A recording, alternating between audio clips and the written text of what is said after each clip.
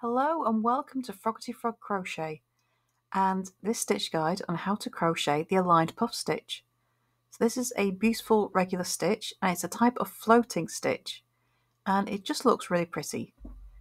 So to make this crochet stitch you're going to need a foundation chain in multiples of 2 plus 1 plus one more for your turning chain. And for this one, unlike most of our other stitches, the turning chain for the first row does not count as a stitch. So in the second chain from your hook, you're going to make a single crochet. And that single crochet is your first stitch. Now we chain one, skip the next stitch and make a single crochet in the next stitch. Okay, chain one, skip the next stitch, single crochet in the next. And we're going to repeat this all the way down. So the repeat is single crochet, chain one, skip the next stitch, single crochet in the next. All the way down the chain until you get to your final stitch, which should be a single crochet. And that is row one. So then you turn, chain one, and in the first stitch you're going to make a half double crochet. I'll just put a stitch marker in there. Okay, so your next stitch is over a chain space. Yarn over, insert your hook into the chain space, yarn over, pull up a loop. Yarn over, back into the chain space, yarn over, pull up a loop. Yarn over, into the chain space, yarn over, pull up a loop, and final time, yarn over, into the chain space, yarn over, pull up a loop. Okay, you should have nine loops on your hook.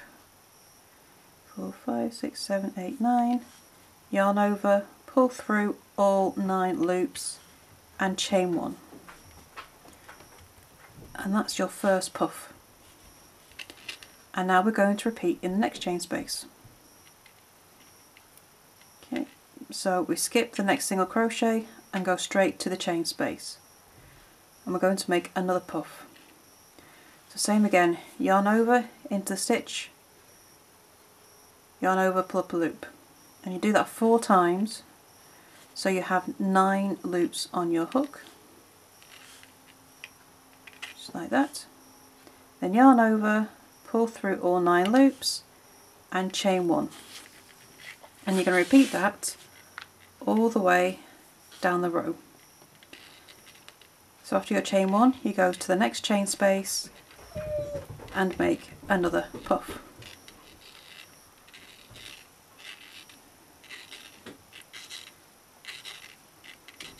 nine loops on your hook, yarn over, pull through all loops, chain one. Okay, so you should always have 53 stitches in every row. So the puff counts as a stitch and the chain one counts as a stitch. Nine, yarn over, pull up a loop, chain one. Well, I say it should be 53 stitches, but after the last puff I still chain one just for completeness, but I will be ignoring that chain one in the next uh, row. It's just really to complete the puff. And then in the final stitch of the row I'm going to make a half double crochet and then turn.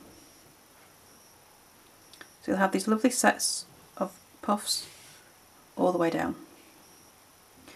For row 3 we're going to turn, chain 1 and make a single crochet in the first stitch. Just give that mark. And now we're essentially going to repeat row 1. So after the single crochet, chain 1. We're going to skip the puff, and I'm actually going to put between the puffs and make a single crochet. Chain one, skip the puff and then make a single crochet in the chain one space. Chain one, single crochet in the chain one space and repeat this all the way down your row and then when you have your last puff left chain one, skip the puff and single crochet in the final stitch which will be your half double crochet and then turn. That's all there is to the line puff stitch. The rest of your piece is going to be a repeat of rows 2 and 3. So all your puffs will line up together and they're all made with the chain 1 spaces which all sits over a puff.